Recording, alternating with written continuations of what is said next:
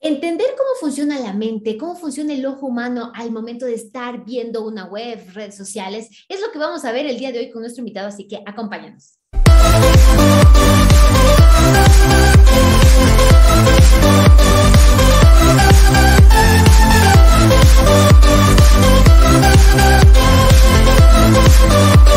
Negocios en Digital 767. Hola, hola, ¿qué tal? Nuevamente bienvenidos al podcast, al programa de negocios en digital. Ya saben, el podcast en el que nos apasiona hablar de los negocios, empoderamos a los profesionales y todos aquellos que quieren darse un espacio en los medios digitales. Y hoy por hoy estamos un martes más, martes 31 de agosto del 2021 tenemos un invitado especial que se repite el podcast y que viene con un tema realmente importante. ¿Cómo funciona este tema del seguimiento ocular dentro de la web, dentro de las redes sociales? Nos ha traído imágenes realmente muy, muy impactantes y que seguro va a ser de gran utilidad para todas aquellas empresas que pues buscan em, crear su página web, están presentes en eh, medios digitales, en redes sociales, en fin, les va a ayudar muchísimo. Pero claro, no sin antes invitarles a que dentro de candiaman.com slash mentor puedan acceder a todas, eh, a toda la información, sobre todo a aquellos profesionales que quieran trabajar su estrategia dentro de LinkedIn eh, a través de una mentoría guiada junto conmigo y el equipo para ayudarles a implementar una estrategia realmente eh, que ayude a generar nuevas oportunidades de negocio. Esto por un, por un lado. Y por otro, comentarles y darles las gracias que tenemos el auspicio de Gen Systems, de estas soluciones tecnológicas de la información para comunicaciones, para aplicaciones exitosas que aportan valor y reducen los costos en los procesos en los negocios a través y apoyados de equipos de alta calidad como es de Hewlett Packard y Aruba. Y también comentarles que este contenido lo pueden revisar a través de nuestros canales aliados también, como es Tu Voz TV, El Vanguardista y Contraportada, que estarán reprisando este contenido tanto en sus redes sociales como en su sitio web. Así que tienen muchas opciones para revisar este contenido de alto valor. Y ahora sí que no les canso más, vamos con nuestro invitado del día de hoy. Tengo el placer y la compañía nuevamente de contar con Miguel Ángel Ruiz. Miguel Ángel, gracias por estar aquí. Muchas gracias por la invitación. 760 y algo. ¡Wow! ¡Wow! ¿Cuántos capítulos? Sí, es constancia, es constancia, es a veces muy retador, pero nos encanta, nos apasiona y aprendemos tanto de invitados así como tú que estás acá y que nos aportan tanto valor y que pues a la audiencia le gusta, ¿no? Todos aquellos que quieran aprender, estar en constante aprendizaje, pues tienen este espacio para para seguir capacitándose. Mi querido Miguel Ángel, nuevamente gracias por estar aquí. Tú eres un experto en el tema de las neuroventas, de las neurociencias, has, investigado eh, muchísimo sobre el tema y claro, ya te habías pasado. De hecho, les voy a dejar en las notas del programa otro episodio en que ya estuvo Miguel Ángel compartiéndonos aquellos insights de cómo entender el tema de las neurociencias aplicadas a los negocios, ¿no es cierto? Pero ahora vamos a hablar de un tema mucho más puntual, que es justamente cómo hacer este seguimiento o más bien dicho, que el ojo, el ojo humano hace un seguimiento ocular, ¿no es cierto?, cuando se le presenta algo. ¿Cómo escanea? Em, ¿Por qué lo hace así? ¿Y cómo deberíamos con estos conocimientos aprovecharnos de, no digamos aprovecharnos, digamos enfocarlos de la mejor forma para conseguir eh, los, eh, nuestros objetivos, que es lo que queremos plantearnos el día de hoy. Así que, bueno, para aquellas personas que de pronto eh, no entiendan un poquito más, cuéntanos en tus palabras, ¿qué es un seguimiento? ¿Cómo podríamos entender esta frase de seguimiento ocular? Sí, mira, hay, dos cosas que tenemos que entender. Primero, saber qué es y cómo funciona un eye tracking y segundo, cómo funciona el ojo o la vista humana, ¿no? El primero, el eye tracking o seguimiento ocular, es una tecnología que nos permite eh, literalmente captar a través de un algoritmo dónde está la pupila y poder ver qué está mirando una persona en la pantalla. De hecho, tengo una acá, lo, vengo, voy a buscar. Em, esto es una tecnología que normalmente funciona con, hay dos tipos de tecnología, una física, como el que tengo yo en mis manos, como este aparatito, ¿no? Y un algoritmo digital como el que también nosotros utilizamos, sobre todo que hemos utilizado en medio de la pandemia, que son estudios más digitales, que es un algoritmo que funciona a través de, de las webcams, ¿no? Y lo que hace este aparato, por lo menos este físico, es que a través de rayo ultravioleta le saca foto a la pupila y nos permite identificar en dónde está, y a través del algoritmo nos permite posicionar o seguir literalmente el ojo para saber dentro de una pantalla, ¿no? O dentro de un estímulo de marketing, como una página web o un spot o una pieza gráfica de redes sociales, etcétera, saber literalmente dónde está mirando. Y de esa forma, poder identificar eh, aquellos puntos que son interesantes o, que, o contenidos que eh, la persona o el sujeto de estudio está observando, está consumiendo y cuáles no. Y con eso tenemos una panorámica general de qué es lo más visto, por cuánto tiempo lo vio. Hay distintos algoritmos que nos permiten saber si también hay comprensión, si hay cognición, ¿sí? Porque yo puedo ver algo, pero no necesariamente significa que lo esté entendiendo o que lo esté comprendiendo. Entonces, no tan solo nos permite saber dónde está mirando la gente, sino también qué nivel de cognición tiene con el contenido que está leyendo. Todo esto, evidentemente, sin preguntarle nada al cliente. Esto tiene que ver literalmente con visualizaciones, ¿no? De cómo literalmente la persona está mirando, fuera de lo que la persona, o sea, yo no le pregunto a la persona si está mirando una página web si miró o no mira el precio. No es una, una, materia relevante porque nosotros creemos que la gente miente, ¿no? Entonces, eh, eh, eh, sobre todo en investigación de mercado. Entonces nosotros literalmente sabemos si miró o no miró el precio y por cuánto tiempo lo miró y, y, qué precio miró y si lo comparó con otro no. ¿Qué contenido de una ficha o un producto en un e-commerce, por ejemplo, observó? ¿Qué le parece interesante? ¿Le parece interesante los colores, el precio, eh, el tamaño, etcétera, etcétera, etcétera? Y, y analizamos toda esa información para entender cómo una persona toma una decisión de compra en el punto de venta real, que un e-commerce, una pieza gráfica, etcétera. Cualquier contenido digital, también físico, pero normalmente hoy día en medio de la pandemia y sobre todo en temas de e-commerce, con contenido digital, ¿no? Qué maravilla. Bueno, en realidad nos, me dejas con tantas preguntas. El tema de la ciencia es, es tan impactante saber cómo a través de esta tecnología podemos hacer esa analítica y traquear tantos detalles, ¿no? Como tú dices, desde el tiempo, eh, en qué orden, qué colores, por qué, si hace comparativas. En realidad es muchísima data. Después, digamos, será un, un, reto quienes aplican esta información, cómo llevarla o cómo procesarla de mejor forma e ir optimizando el tema de, pues, de conversiones y todo, ¿no? Ahora, eh, coméntanos, sí. De hecho, ese es mi trabajo principalmente, más que, más que hacer los estudios, que los estudios son, hoy día ya los tenemos más o menos automatizados, ¿no? E, el trabajo real de un neuromarketer, el trabajo real de alguien que trabaja en neuromarketing o en neurociencia aplicada a los negocios, es transformar esta data científica, estadística, que muchas veces es dura, es difícil de entender y analizar por un cliente, y transformarla en una accionable, accionable que genera un beneficio comercial a un cliente. Ahí está la magia. Un estudio, teóricamente, cualquier persona con conocimiento de neurociencia, tecnología y estadística podría potencialmente hacer un estudio en la magia, el, verdadero negocio o el core de mi negocio como agencia Mars, por ejemplo, es transformar esa atadura en un accionable comercial de nuestros de nuestros clientes que le permitan aumentar la conversión o mejorar la conversión. Entonces, ahí, ahí está el, el, real secreto de, de, la experiencia, porque, insisto, hoy día incluso hay algoritmos que casi te hacen el estudio automatizado. El tema es, ¿qué hago con esa data? Ahí está, ahí está el, el, secretillo, ¿no? Que nos permite aumentar las conversiones normalmente, que a eso apuntamos normalmente. Y qué maravilla, ese sería, digamos, el core business tuyo, el tratar de, eh, el interpretar toda esta data para sacarlo en, en, información valiosa y, como tú bien dices, accionable para las empresas. Si me permites, mi querido este, Mars, vamos a compartir eh, aquellas imágenes que tú nos brindaste para que nos hagas una interpretación, ¿sí? No sé, y me confirmas si la puedes ver. Sí, estoy viendo. Perfecto. Entonces, claro, aquí está, por ejemplo, una, esto es un banner, ¿no es cierto? De, de un café, ¿no es cierto? Donde es un banner de un café, de, de, un café en un supermercado que puede estar perfectamente colgada en, en Facebook o, o, incluso puede ser un banner o un pop-up en una página web, etcétera, etcétera, etcétera. Eh, hay tres tipos de datos que es lo que podemos ver y que están en orden. El primero es un mapa de opacacidad. Y literalmente lo que hace este mapa, de hecho, para que entiendan un poco, nosotros ponemos a 20, 30 personas, que eso es como el mínimo estadísticamente viable para sacar información, y los, le exponemos, este, en este caso, la pieza gráfica, que es el estímulo de marketing que nosotros queremos analizar. Y en vez de ver la conducta individual de cada ser humano, lo que vemos es la conducta grupal, de cómo las 20, 30 personas en general observaron esto y así se eliminan las conductas individuales, ¿no? Porque hay un, quizá una persona miró una parte que nadie más vio entonces probablemente esa visualización no va a ser registrada porque nosotros vemos lo que ve el grueso de la persona que estamos analizando. Y lo que nos, presenta el mapa...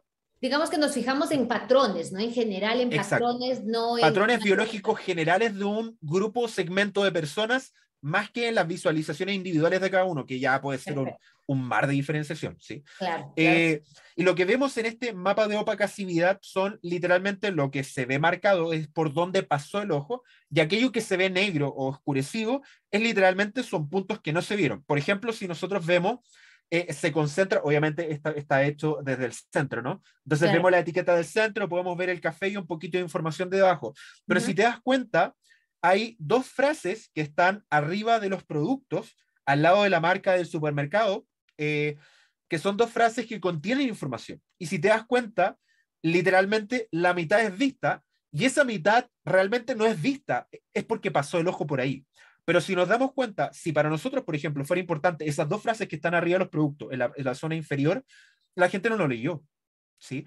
Entonces, si yo pongo condiciones o ofertas exclusivas en ese punto, nadie lo vio. ¿Dónde se concentra la información? Haciendo el análisis a, a lo grosso modo, ¿no? Sí, en el centro, en la etiquetita, ¿no?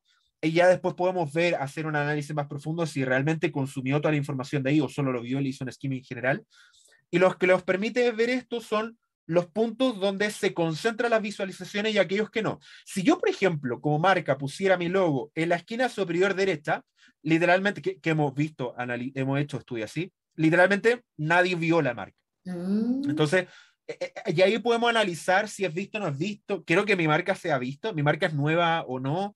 Entonces, hay marcas internacionales como Nescafé o productos que son Coca-Cola, ¿no? Donde yo no necesito verlo por tanto tiempo, porque yo veo rojo CC, ya sé que es Coca-Cola, ¿sí? Y veo una bebida... la marca. Sí, pero, pero si fuera un café nuevo que quiero penetrar el mercado y que nadie me conoce, para mí sí es relevante que vean mi logo, porque claro. quiero que asocien la información a esta nueva marca. Nescafé, todos conocemos Nescafé, ¿sí? O en general todos deberíamos conocer Nescafé. Por lo tanto, la cantidad de visualizaciones que tiene el logo Nescafé no es tan relevante en este caso. Con que yo la haya visto un poquito, ya me hice la idea de qué producto. Lo que tenemos debajo, entonces, esto es un mapa de opacidad, así se llama, opacity map. Lo que vemos después, eh, el segundo, la segunda pieza, es un heat map. ¿Esta? ¿sí? Eso mismo, sí. Y acá tenemos tres tipos de información lo que se ve rojo es aquello más caliente o donde más se posicionó el ojo. Y les puedo explicar en unos segundos más después de analizar estas piezas cómo funciona el ojo para que ustedes entiendan la interpretación de esta data. Lo amarillo es lo que vio más o menos, lo verde lo que vio por poquito. Aquello que no está marcado eh, no, no fue observado. ¿sí? Por ejemplo, eh, el, lo que ahí dice bases ante notario. Claro, nadie eso lo nadie lo vio. Uh -huh. No, o sea, está ahí porque yo creo que está ahí porque tiene que cumplir una ley, pero, pero, pero si fuera una información importante para leer, nadie lo observó, ¿no? O sea, Entonces, interpretando también sería que, digamos, perdóname que te corte, la parte de, no los, de los, globitos rojos, ¿no es cierto? Ahí es donde... Es lo que más vio la gente. Es lo que más vio, o sea, digamos que también sí. se demoró más tiempo en ver, es donde más... Exacto, donde más tiempo pasó, pasó su ojo, ¿sí? Ahí es donde más tiempo estuvo, más tiempo a través del tiempo. Normalmente esto lo presentamos por 7, 10 segundos, que es lo que en promedio lo dedicamos a una pieza gráfica. No le dedica. Nadie ve por un minuto una pieza gráfica. ¿sí? Claro. Todos, todo hemos estado en nuestras redes sociales como, ah, una publicidad, y le doy, y le doy scroll para arriba. O sea, no, scroll, claro. como que no, no, no, me doy tanto tiempo. Entonces, de un total de un tiempo determinado, eh, es donde más tiempo puso sus ojos. Entonces podemos ver que, por ejemplo, acá es siempre rico, el café, la marca acá abajo y un par de productos abajo. Y eso es lo que por más tiempo observó de toda la pieza. De toda ¿sí? la pieza. Y ahí es donde lo de que... pronto, o sea, contrastaríamos esta información de la data con los objetivos comerciales que tenga la, la marca, ¿no? Como por tú bien mencionabas. Si es que la marca ya tiene presencia como tal, de pronto no me interesa que vean tanto mi marca, sino que eso vean... Es lo que te está diciendo. Por ejemplo, Nescafé, Nescafé está visto entre amarillo y verde. Es como que lo vio, pero no por tanto tiempo. Ahora para Nescafé no es tan importante, porque Nescafé ya es posicionado. Entonces, con que lo haya visto milisegundos, ya sé que Nescafé es Nescafé. Pero si mi producto es nuevo y quiero que sepan mi nombre, sí está mal hecho. Entonces, eh, para que te, ustedes entiendan muy bien, no hay nada bien o mal. Va a depender de los objetivos comerciales que yo tenga. Si yo quiero y necesito posicionar mi marca, esto está mal. Claro. Si yo soy Nescafé, esto está bien. Claro. Porque no necesito que vea por tanto tiempo, no necesito, al contrario, que alguien vea en rojo Nescafé es peligroso. ¿Por qué tanto tiempo ve el producto? O sea, la marca, si Nescafé ya está posicionado en todos los cerebros de la gente en Latinoamérica entero, ¿por qué va a estar viendo por tanto tiempo Nescafé? Hay información que debería ser más valiosa que el logo. Entonces, te das cuenta que el análisis o la interpretación va a depender de qué. Y esto lo que vemos claro. se llama gaze plot. Si te das cuenta, cada pelotita tiene un número, ¿sí? Ajá Sí, claro. acá, por ejemplo, acá en el celeste y el naranjo, el 1 está, se ve acá por... La idea de esto es que el 1 está al bordecito de la tacita, ¿no? El, el, naranjo y el celeste. El 1 es donde partió el ojo, literalmente. Y el 1, 2, 3, 4 es el orden de cómo miró la pieza gráfica. Ya hay varios colores porque son la cantidad de personas que participaron dentro del estudio. Esto es un ah, demo problema, no, no es un estudio real de Nescafé, es un demo que hicimos nosotros para que los clientes lo puedan ver y sepan más o menos cómo lo hacemos. Entonces ahí si te das cuenta que hay tres personas que están siendo testeadas. Entonces, cada grupo de color, celeste, verde y naranjado o naranja, son tres personas distintas y acá podemos ver el mapa de recorrido de cómo observó. Entonces vemos que parte desde el café, parte siempre desde el centro porque nosotros hacemos que fijen la mirada en el centro y desde ahí comienzan a mirar y observar la información. Y podemos ver que hay un patrón, ¿no? Todos parten desde el centro, suben y después bajan. Entonces, eh, eh, y ahí, ahí podemos ver dónde miran, cómo miran, si miran desde el centro hacia abajo, por dónde se van. Podemos ver, por ejemplo, porque este gaze plot está ordenadito, ¿no? Está, está más o menos ordenado hay veces que vemos plot y cada persona ve por dónde mira y ahí decimos, creo que la información no está viendo, no está siendo observada. Qué maravilla, ¿no? Y ahí nos muestra un patrón de, de, visualizaciones de una persona. Claro, claro que sí. Y podemos ver una concentración. Esto, por ejemplo, es un mapa de capacidad, pero versión página web, ¿sí? Claro. Entonces ahí podemos ver, por ejemplo, esto es una página web de, un, de, una, de una, agencia de, de, una agencia digital. Y ahí podemos ver, por ejemplo, qué información ve la gente, ¿sí? Entonces podemos ver y se te, das cuenta que hay muy iluminado, más o menos iluminado y ensombre, eh, eh, ensombrecido, ¿no? Entonces podemos ver qué vio, qué no vio. Vimos, por ejemplo, que branding, social media, soluciones SEO, reputación online, es lo que más le interesa a la gente o lo que más podría buscar. Y ahí nosotros podemos sacar una, una cantidad interesante. Si bajamos la siguiente, lo mismo. Eh, si vemos los hitmaps, por ejemplo, vemos que se concentran en los mismos puntos, ¿no? Branding, social, social marketing, soluciones SEO y reputación online. Y podemos ver, por ejemplo, de todos nuestros servicios, móvil, por ejemplo, mobile apps es poco visto. Puede, por ejemplo, ser poco interesante en una primera instancia. Y por lo tanto, podemos ver que quizás podría ser una categorización de los servicios, de los servicios más buscados y otros servicios que los tenemos por si, por si por si los piden, ¿no? Pero que quizás no son tan vistos. Porque si te das cuenta, tienen dos, nueve de servicio, de los cuales cuatro son los realmente interesantes y los otros cinco son... Eh.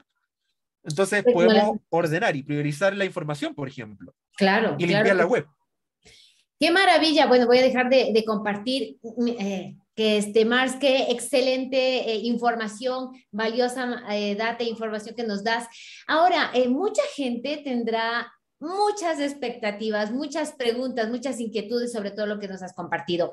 Y ahí me surge desde, desde una, ¿Todas las empresas pueden acceder a esta tecnología? ¿Es realmente costosa? Eh, ¿Hay un mínimo para que la gente pueda eh, acceder a ella y por qué? O sea, ahí coméntanos un poco para que, porque seguro que mucha gente querrá, ah, yo quisiera tener este mapa mental para mi web, para mi post, eh, mi hay, hay, dos opciones, ¿sí? Dos opciones. La cara, que son los laboratorios físicos. Y es cara porque los laboratorios son carísimos, ¿sí? Tener estos laboratorios valen miles de dólares, ¿sí? Eh, de hecho, son cosas que nos duelen porque hace eh, pandemia y media que no podemos utilizar los laboratorios y están ocupando, agarrando polvo, mientras que son inversiones carísimas, son inversiones que una agencia y una empresa grande podría permitírselas, pero un emprendedor no. Eso somos suficientemente claros. Y utilizar los estudios requieren tiempo y estar muy importante en el lugar físico, porque comprenderás que estos se conectan a un computador y tienes que estar en el lugar. Así que si, por ejemplo, nosotros estamos en Chile, si una empresa ecuatoriana quisiera tener esto, o tendría que contratar una empresa ecuatoriana o contratar nuestra empresa y nosotros viajar a Ecuador. Entonces tiene limitancias, limitancias de tiempo, espacio físico, de valor, pero evidentemente la cantidad y calidad de data que entregan este tipo de laboratorios son brutales. Y la otra versión, que es si es más barata, si es más accesible, y que nos permite, sobre todo en medio de la pandemia, funcionar, y es que nos ha permitido funcionar en medio de la pandemia, son hoy día estos algoritmos digitales que nosotros utilizamos a través de la webcam. Nosotros podemos hacer un estudio, eh, eh, estudio en cualquier parte de Latinoamérica a muy bajo costo, muy bajo costo, estamos hablando que es eh, un quinto, literalmente un quinto lo que cuesta un, laboratorio, un estudio de esto. Por ejemplo, un estudio promedio de esto saldría 5 mil, 10 mil dólares. Y estos otros estudios podrían costar perfectamente mil, dos mil dólares.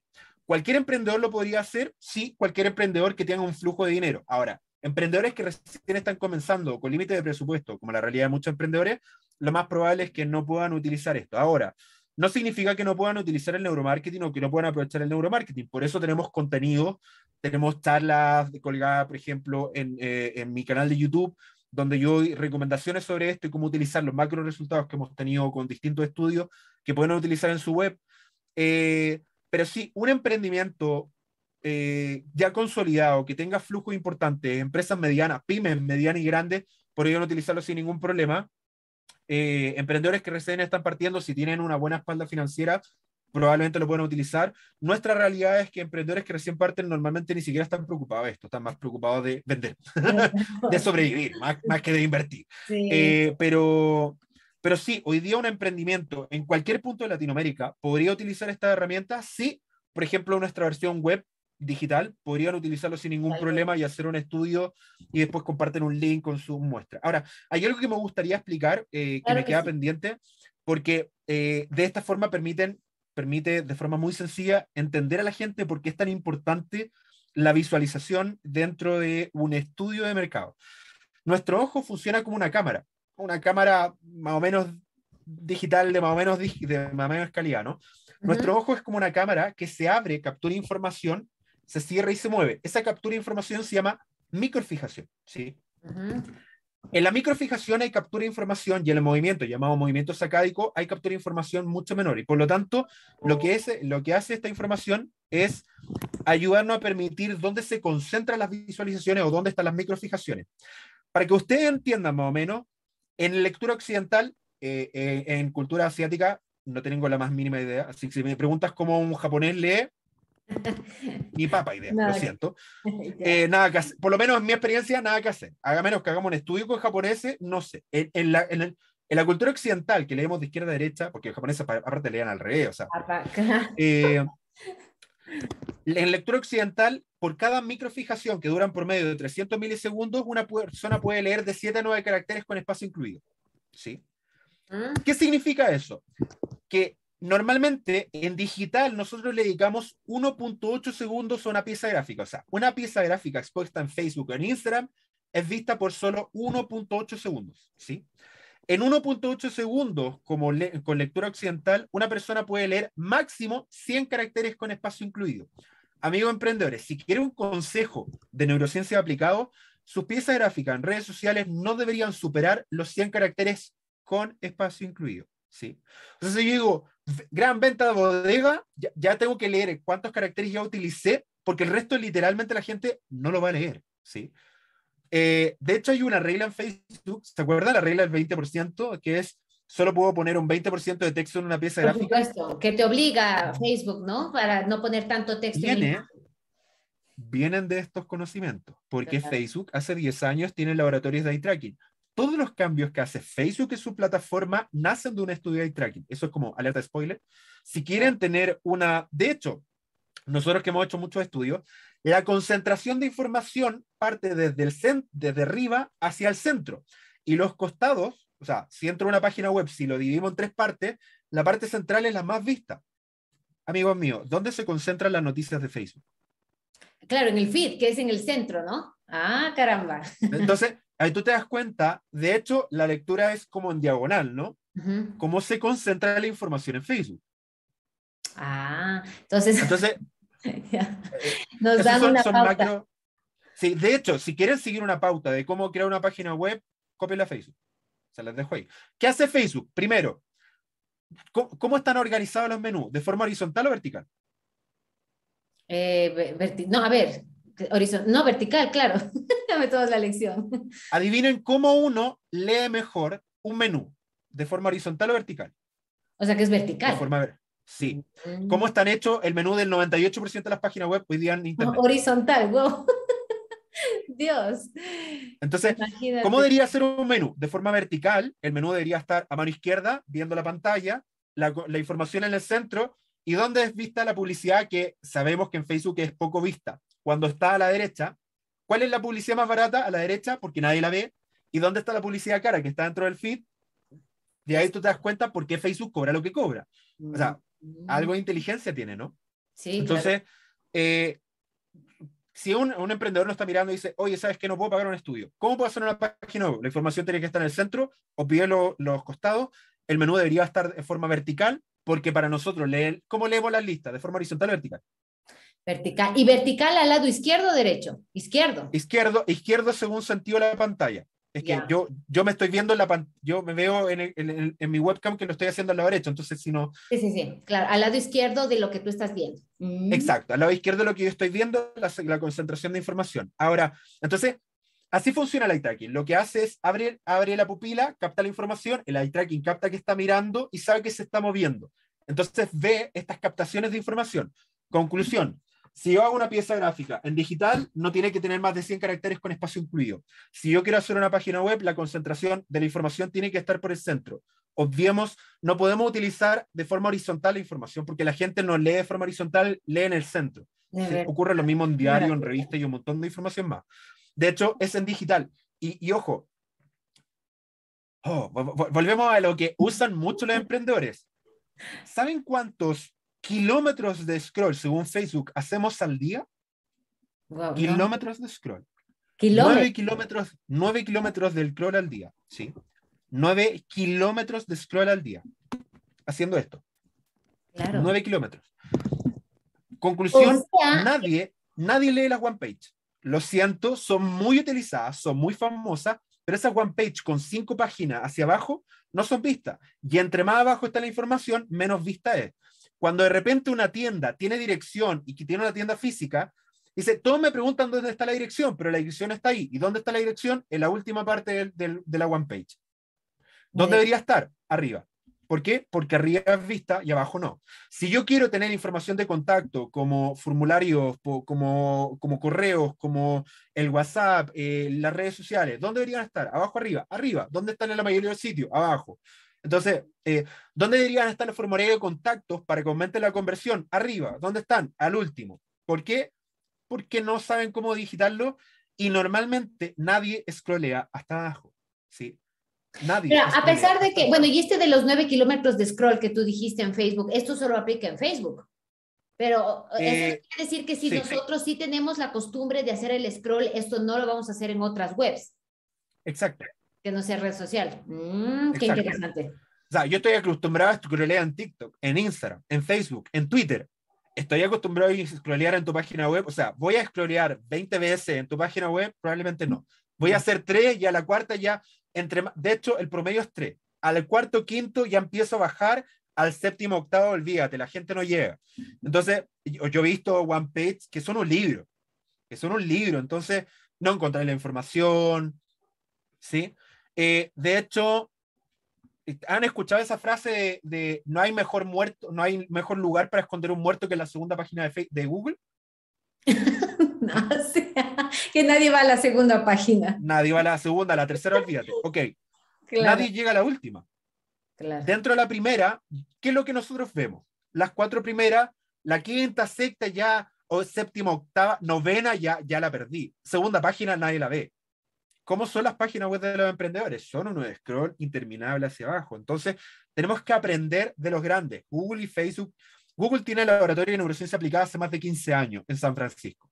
Facebook en Palo Alto tiene laboratorio de tecnología de neuro. De, de hecho, por si no lo sabían, eh, Facebook compró iTribe, que era una empresa de, de eye tracking, que era una Mm, empresa de eye tracking china, y la compró por utilizarlo. Bueno, y ahí son tema interno, la utilizó para mejorar su, su página web y por utilizarlo en Oculus, porque Oculus utiliza. Oye, ¿qué Si quieres, Dime, sí. dime.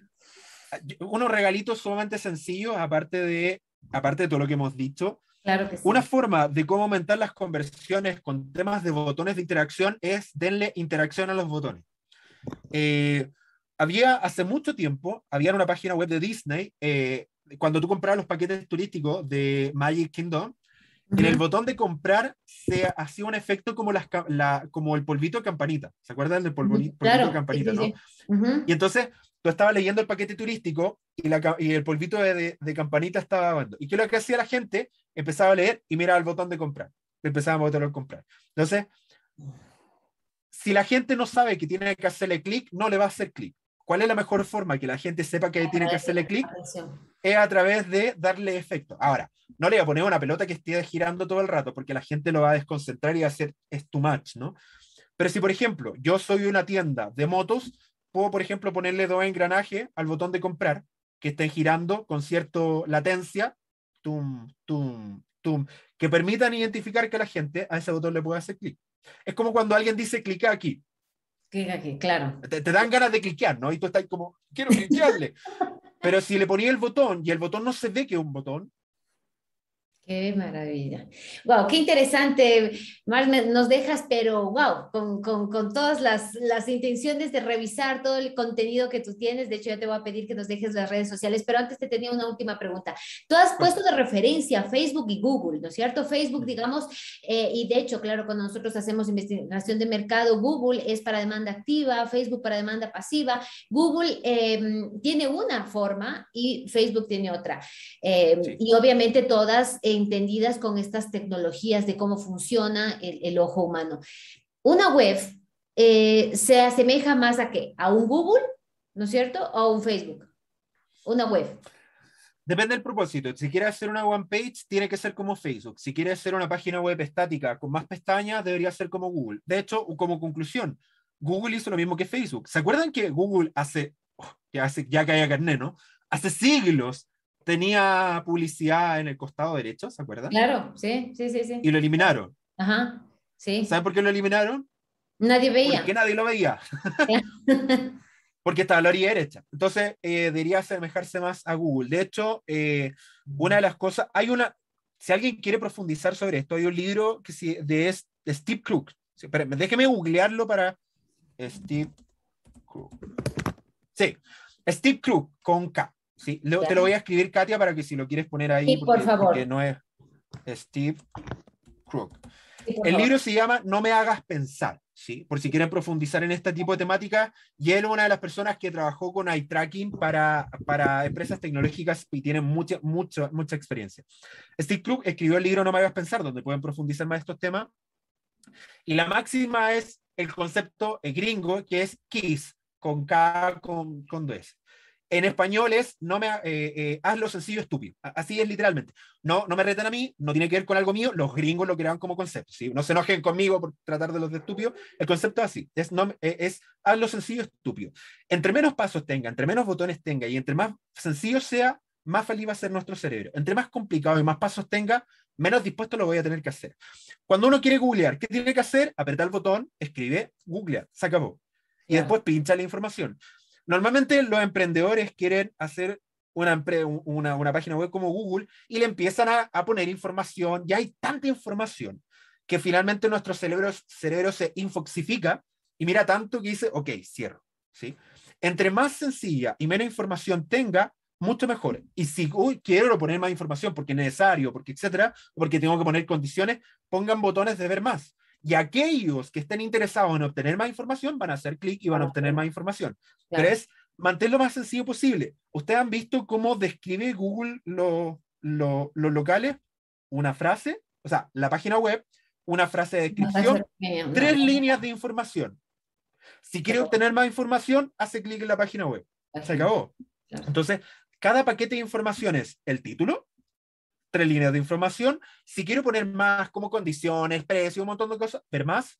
Y una condición que siempre recomiendo a todos los emprendedores, ya que tengo la oportunidad de comunicarme como todos ellos, pongan el pinche precio de forma pública. Claro.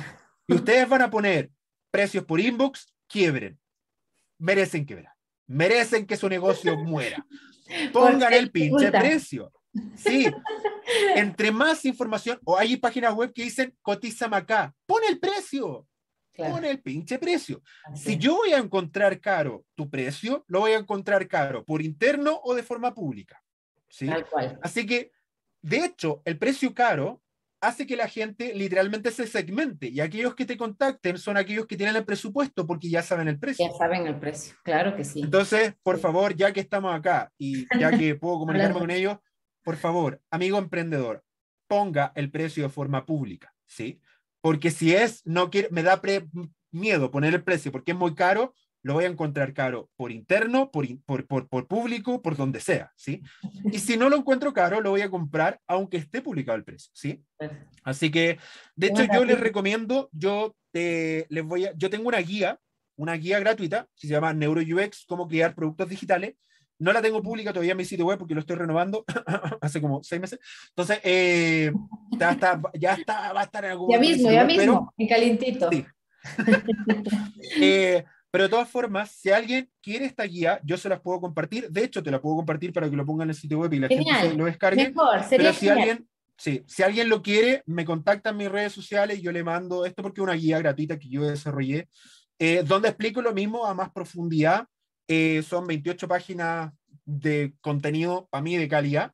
Eh, no, tiene, no tiene talla, ni música, ni relleno, es solo contenido de calidad, así que es una guía para literalmente crear productos digitales que tienen que ver con aplicaciones, e-commerce, páginas web. Así que... Tomando en cuenta eh, toda esta ciencia que tú sabes. Mi querido Mars, que estoy segura que la gente se va a repetir este episodio porque has dado tanta información de valor y decir, a ver cómo era, cómo era, cómo tengo que diseñar. seguro que lo van a hacer, seguro que van a revisar todo este material nuevamente. Mil gracias. Mándanos ese, em, ese documento que quieres, lo adjuntamos en las notas del programa para que la gente pueda accederlo. Y nada, solo darte las gracias y, y, y para finalizar, entiendo que estás desarrollando tu nueva web, pero ¿dónde te puedes encontrar? Porque mucha gente va a querer hablar contigo. Facebook e Instagram, eh, Facebook e Instagram Neuromars, en TikTok subo videos también en TikTok, videos profesionales, no me van a ver bailando en TikTok.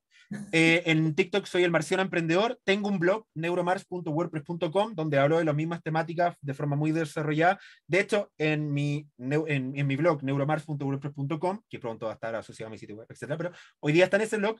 Eh, tengo una guía completa de cómo entender la neurociencia aplicada desde las bases hasta lo más avanzado. Eh, también estoy en LinkedIn, Miguel Ángel Ruiz Silva. También pueden encontrar mis videos en, en YouTube, también con mi nombre, Miguel Ángel Ruiz Silva. Eh, y si me contactan por cualquiera de estas redes sociales, Facebook, Instagram o LinkedIn, yo les voy a enviar eh, esto. Si no, de todas formas lo pueden descargar. les voy a mandar ahí para que lo puedan descargar en el enlace del contenido. Si me quieren contactar de forma directa y quieren este contenido, conversar conmigo en cualquiera de mis redes sociales. si no respondo en el momento, respondo como a los días eh, dependiendo de si tengo o no el celular en el bolsillo. Claro que sí. Y te agradecemos mucho, mi querido Mar. Seguro va a haber muchísima gente que quiera contactarse con toda esta información. Nosotros mismos te seguimos por, por eh, todo el valor que, que, aportas y que de hecho, y gracias nuevamente por estar aquí y compartir todo eso. Bueno, y también agradecer a la audiencia por estar ahí, por escuchar el podcast en las diferentes plataformas, en Spotify, en Google Podcast, en iVoox, en iTunes, en el formato de video, en YouTube. Ya saben, nuevamente agradecer a nuestro patrocinador Gen System con soluciones tecnológicas para las empresas apoyados en tecnología de punta como es Hewlett Packard y Aruba. Y nuevamente, este contenido también va a estar retransmitido en nuestros canales aliados, Tu Voz TV, el Vanguardista y Contraportada, así que no se lo pueden perder. Si saben que este contenido va a ser de alto valor para alguien, compártalo, es completamente gratuito. Contáctense con Mars, que él eh, seguro les va a poder ayudar. Y nuevamente, gracias, gracias por estar ahí, porque sin ustedes del otro lado esto no existiría. Fuerte abrazo. Chao, chao. Chao, chao.